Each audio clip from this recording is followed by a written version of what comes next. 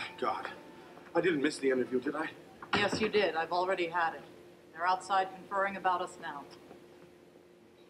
What did you tell them about me?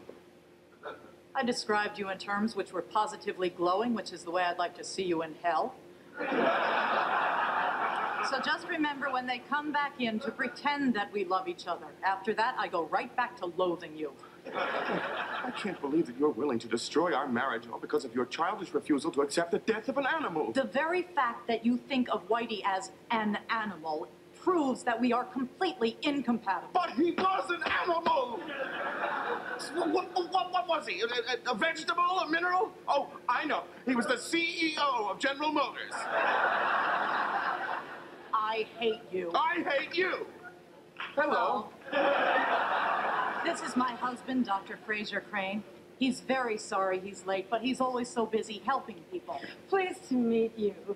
Won't you sit down? And we'd like to thank you for taking the time to come down here. It's good to see parents that care so much.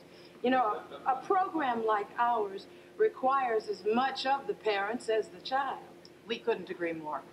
Right, dear? Oh, absolutely, dear. Unofficially, I think it's a very good possibility that we'll be able to welcome Frederick to the Magic Hours Learning Center. Oh, that's wonderful news. We couldn't be happier. But before you leave, would you like to see something precious?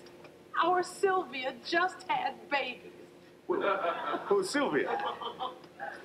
The school's pet hamster. Oh.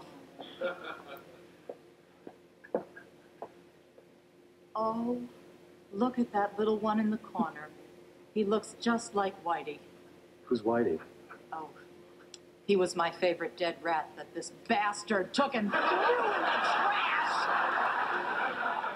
Don't mind her.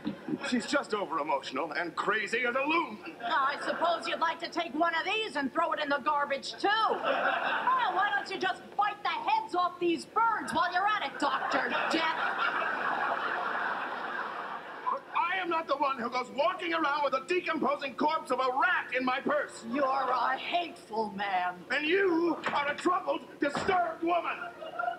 But a wonderful mother.